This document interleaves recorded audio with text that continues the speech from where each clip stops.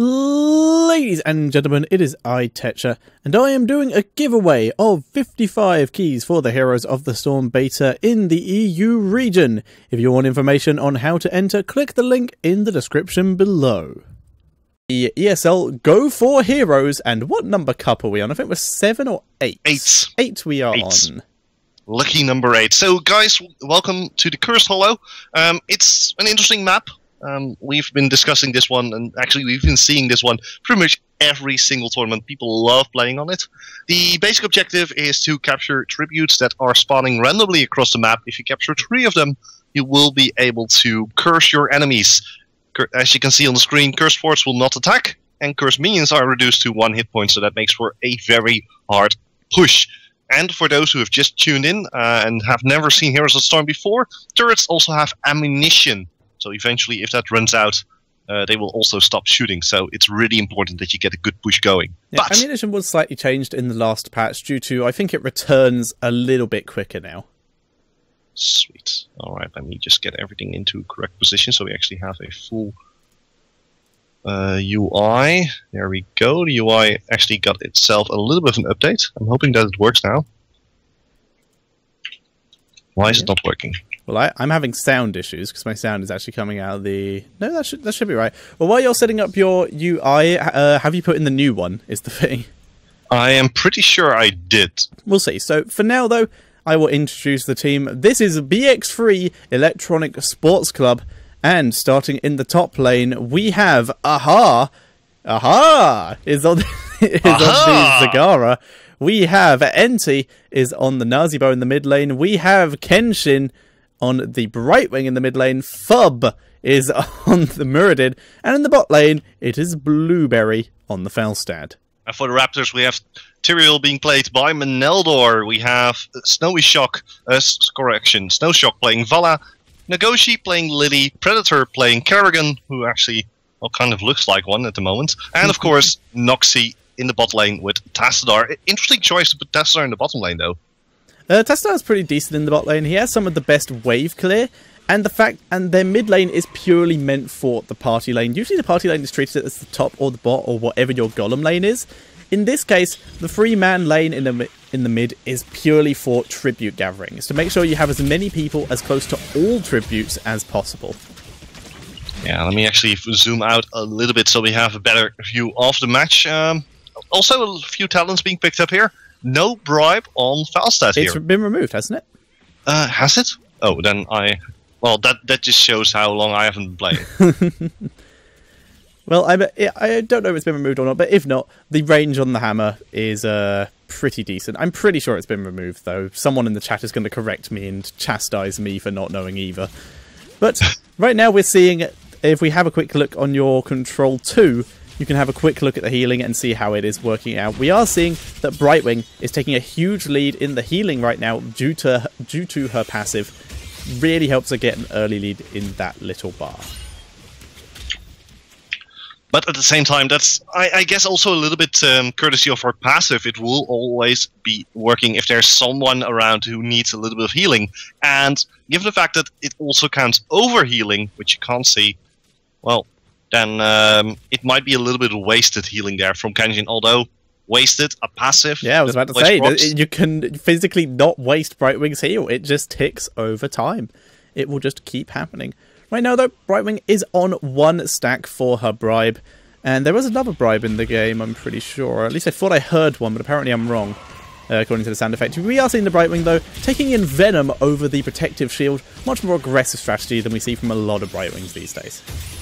Yeah, on, on the other hand, if we're looking at the team coming out of uh, BX3, um, they, they have an aggressive team. They have the possibility to go aggressive. They don't really have their second warrior because they have Zagara, which actually is more of a pseudo assassin.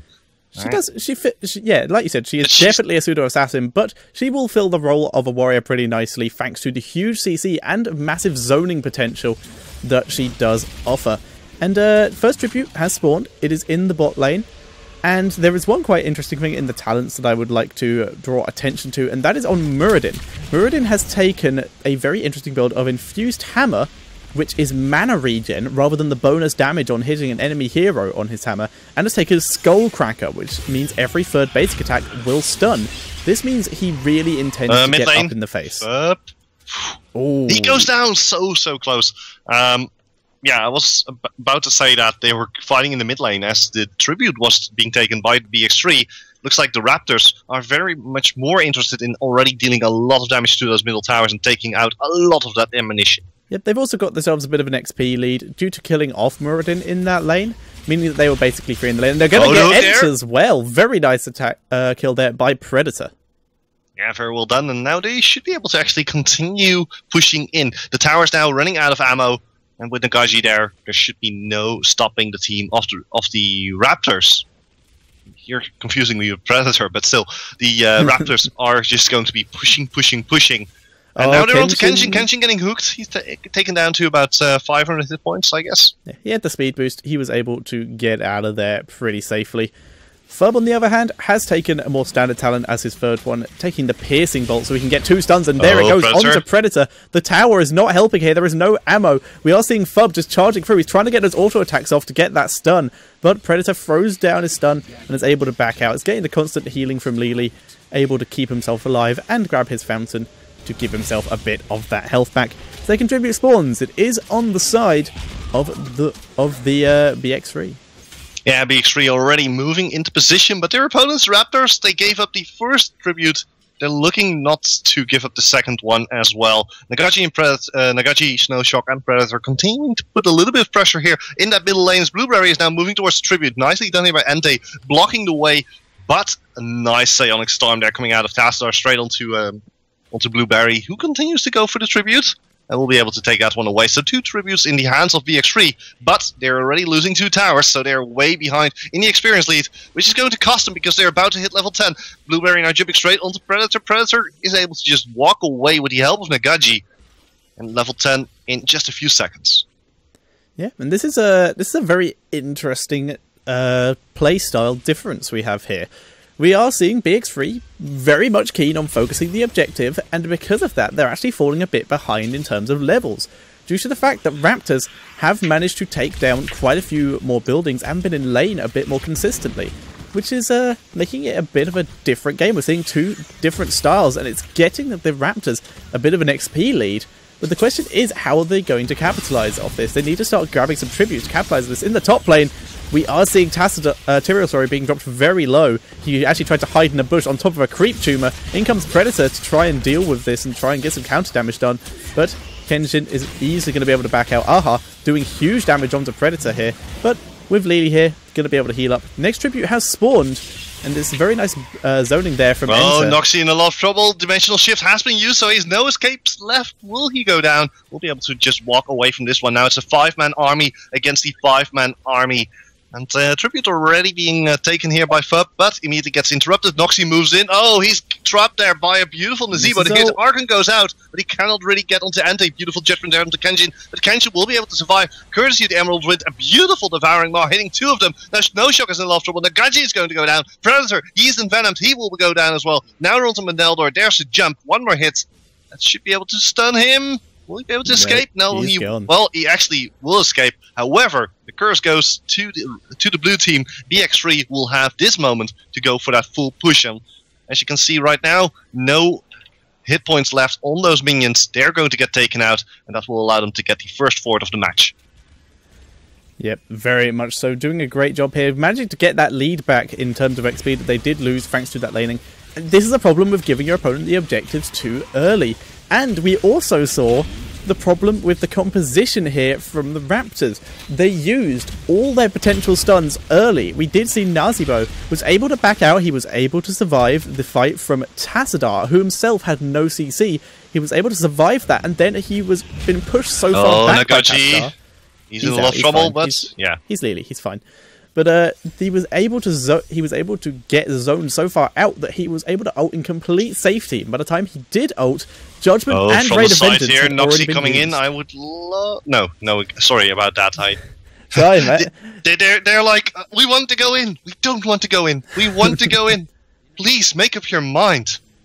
yeah, Yeah, cast the curse, right? we will see. We will see some skirmishes, but uh, the composition of uh, Raptors is actually very good in terms of escape. I wouldn't be too surprised if we saw uh, Kerrigan use the jump to take the jump to friendly heroes talent. I'm not sure what level that's on. Might have already missed it. I don't really play Kerrigan that much. Really should though. I have a nice skin for her. I believe she's level 13, I believe, for uh, Well, jump we're to about to friends. find out because she's about to hit level 13. We'll find out if she does take it. And if she does take it, then we know it's on that level. If not, then we will be forever in the dark, or at least till the game ends and we can look at it in the shop. Right now, we are seeing Raptors finally starting on their boss. It has been spotted, though, by Zagara. Zagara, for example, could devouring maw here, but instead she's just gonna let, they're just gonna let it leash. That roach is having a bit of a bit of a crisis. But uh It's like, no, no, Don't leave me here. this. But, what is uh, the purpose of life? But yeah, they let uh, they let the golem reset rather than force a fight. Zagara's devouring maw would have easily allowed her to take this over, and it's rewind on Kerrigan there. Yeah, I know that rewind and the jump to allies is definitely not on the same level, so I'm pretty sure she just skipped it. Yeah, could be. But speaking of skipping, here's uh, Fuppy. He's going to hop, skip, jump straight onto Noxie. If he's um, actually Noxie has to be a little bit careful. Noxie forced out of the way. Ra- Ravenous uh, Spirit has been used. Actually stopped there by Predator, who's immediately using his Maelstrom. Immediately, the Judgment coming in onto Kenshin. Kenshin still alive. The and Oh, doesn't quite hit because of the Devouring Maw. Predator immediately coming in, but he's going to go down. He's a little bit too low, and this is the moment that BX3 was waiting for. They're looking to turn it around here. Maneldor di- uh, trying to get out of there. Nice hammer there, locking up both of them. A jump forward to slow them down just a little bit more. But BX3 has to be a little bit careful here because they might just get out multi-shotted by Valla. Yeah, Valla going for the multi-shot build, which is very wise in this scenario. Multi-shot, very much a build that looks really nice in the damage tab, is not the most damage you can build, but it's incredible for a composition where you realize you're not really going to be able to get that close to the enemy team. And this is a team that you don't want to get close to with the polymorphs, with the Muradin, and especially with Blueberry, who's going to be able to just burst you down like they're trying to do to Noxie here. Noxie having to pop his face shift to try and get out. We're also seeing Tyrael also having to back out. If he judgments in, he's probably going to 100% exp- have to explode and try and do some damage. Zagara, nowhere near the actual fight here, is going to make her way down. But currently it is a 4 versus 5. Let's see what BX3 can make out of this until Zagara gets here. She is about to arrive. When she's going to come in from behind, we could see a really good devouring maw here. Yeah, Blueberry is already forced backwards, but he does have his flight. Ahar immediately moving into position, has the devouring maw. This might be the perfect position here. Actually, Get there the was a If you can get the Li Li in Ahar. it, that'll cancel the ult. There, sail to Ahar. Ahar in a lot of trouble, but he will be able to actually deal so much damage to the enemy team. Manelder, Predator, so dangerously low in the mid of all of this. Li Li has gone down. Envenom might take down Predator here. That's the end of him. Now, Fup is going to try and chase down Noxie, but Noxie is too far away. But it doesn't matter. It was a two for one. They got the tribute even. And again, BX3 in a very, very good position. Yeah, very well played by BX3 there. Oh, Very- Noxie! Oh, he's giving chase. He's trying to go. We're seeing Blueberry giving chase Hammer. to Noxie. Oh, dodges the shock and awe. Sorry, the Hinterland blast now. It's not even shock and awe anymore. Blueberry going to go home. Doesn't have any mana left. He's just going to join his team in taking that golem. They will clear this up quite quickly. In our hearts, it will always be the shock and all. I like That's- Hinterland blast. Hinterland Blast. Hinterland Blast! Yeah, it sounds. It I- I does don't sound know. cool. I don't know. I don't So we are seeing both teams beginning to recover. It looks like that uh, we may see them go for their. We may see uh, Raptors go for their boss again, but the team of BX3 is actually on their way to this boss. They may be looking for a steal, or at least for a cheeky kill, because this is all that uh, Raptors can really do is take their mercenaries around this area. And Zagara can see this. Oh, the convenient tribute spawn. Now they have to come here. We're not going to see any boss attempts because of this, but we are going to see a team fight. Tassadar nowhere near this because he's dealing with the boss. We're definitely going to have to see Raptors give this up, but that won't stop them probably harassing from over the wall with Valla and Tyrael with his El'Druin's Might. Speaking about harassment, if you look at the builds here, uh, we have the multi-shot build for Valla, which is normal, but if we're looking at Tyrael, the Smite build, that's a new one. Uh, no, this is actually, that's actually quite standard. It's standard, okay. Yes, uh, it's the- usually it's I the saw most the more damage tanky you can- build, actually. It's the most damage you can get out of it. I would have preferred personally to see him take uh, Nice way, I was about to say- Oh, Nagachi in a lot of trouble. He might be going down here. Blinding Winds have already been drop tossed out. They're trying to chase him down, but it's yeah. You were talking. It's Li Li. Not going to happen. Yeah, Li Li with her her swift feet. What's that called? Fro- fast feet. Close enough. Uh, able to get out when she is damaged.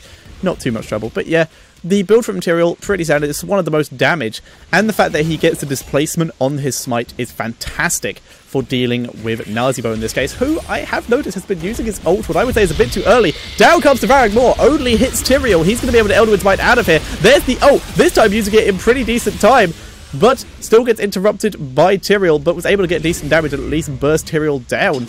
So now it is a 4 versus 5. Ults have been popped on both sides though. It's only Archon, Maelstrom and Emerald Wind left. Brightwing having to back out. Emerald Wind will be used as a disengage here if we do see Raptors try and go in for a fight while they have an ult advantage. But they may not realise this. Avatar has expired on Muradin. And if they want to fight, they're going to have to fight in a very disadvantageous position here. Nice job by Nag Nagaji, able to dodge that zombie wall and those banelings. For now, though, Noxy is moving in. He's Oh, going to be popping be into his. Archon form. Nice. Emerald Wind straight onto Ahara. Ahara just gets bursted down. They do lose the tribute, but it isn't really what they were looking for in this fight. They're looking for some kills. They're looking for some experience. But now they're spread up due to the corpse wall, and they have to be very careful. Their ults are about to run out. Predator ha- doesn't have his ult. Noxy doesn't have his ult, and they're forced to fall back. So they did get that kill, but they lost the tribute war once again. That's six tributes in a row for BXE, uh, BX3 this is not looking good for the guys from the Raptors. Yep, uh, someone mentioned that Hinterland Blast sounds German. There is actually a place called Hinterland in German, so uh, in Germany. So there you go. I, so Hinterland Blast. if if you like. So uh, I think there's a place in. Uh, I think someone said there's a place in uh, in Holland as well. I'm not sure though. Uh, Hinterland, not. Maybe not. I don't know. Not that I know.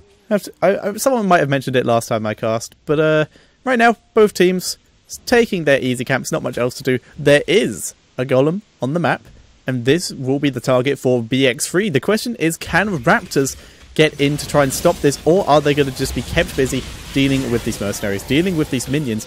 Right now, top lane under a bit of pressure. Curse has ended though, so the fort will be able to deal with this, and they are still defending mid lane. They do have a small chance though to get up to that top lane and try and interrupt that golem if they're quick, but no, devouring maw, acting as an amazing wall here, and that's going to allow them to get the tribute. But they're coming in for a fight anyway. Emerald Wind, great disengage here, pushing everyone back, and we are seeing them retreat. There is the Ravenous Spirit doing so much damage. It's going to take down Li Li before the remainder of her duration runs off, and it's taking out everyone. Noxy being dropped low, and Venom has been popped on him, but we're seeing Snowshock is having to back up here because it's going to be Brightwing taking him down. Tassadar, only one left. He is on the run. Brightwing realizing that's not a fight she can take, especially while he's in Ar- Archon form.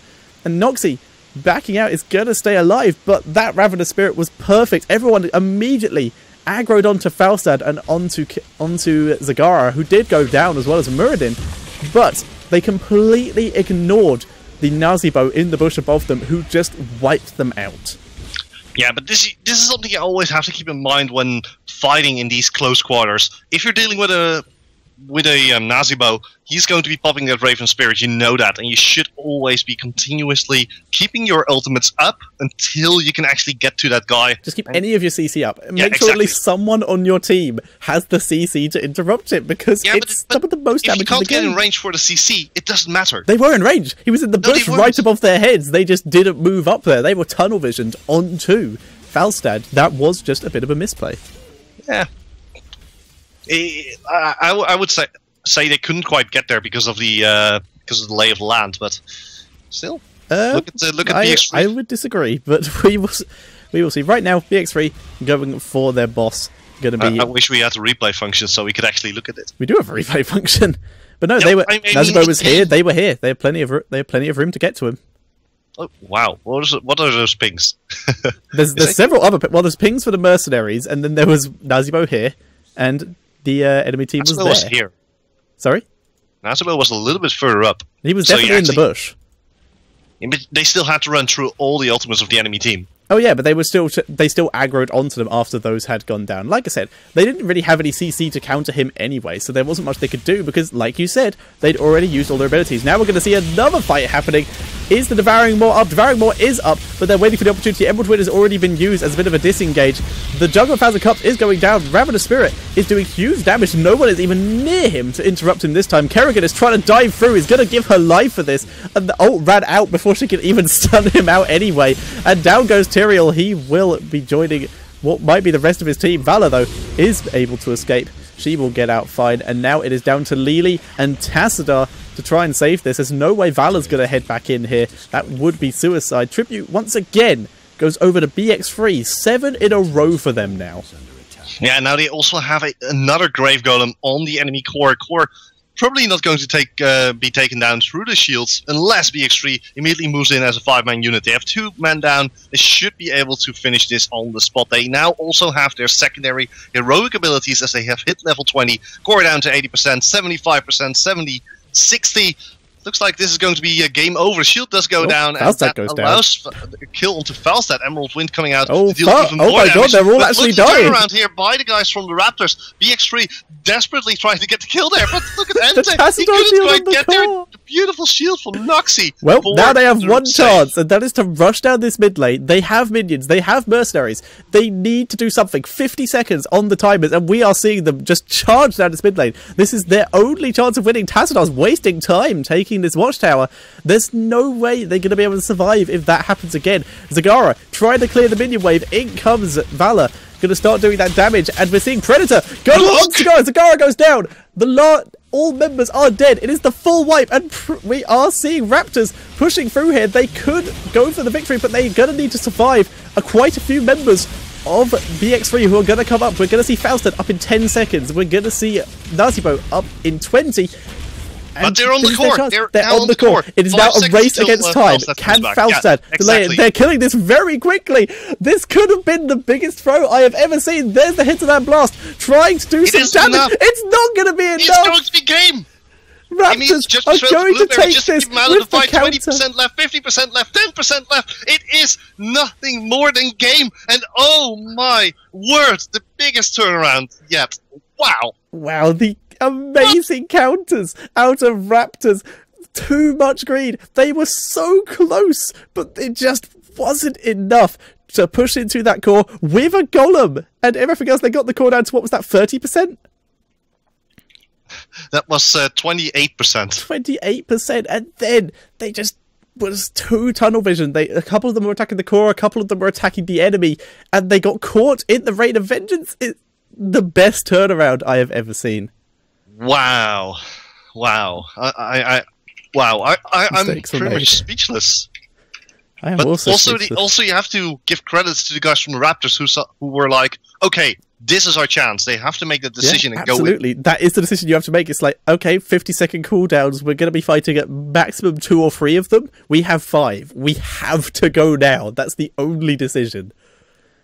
Very good decision by them. Fantastic play. And BX3, amazing play throughout. Commiserations to you. But Raptors, with the great decision making and the great save at the end, a, des- a deserved victory. All right, ladies and gentlemen, we will be jumping into uh, the next game. That's going to be uh, Hot Elite against the Raptors. And uh, if this game is anything uh, like the next, well, we're going to be in for an amazing night. I'm TeknoLink, I'm here with Tetcher. And for now, we're going into a quick break. Enjoy the videos.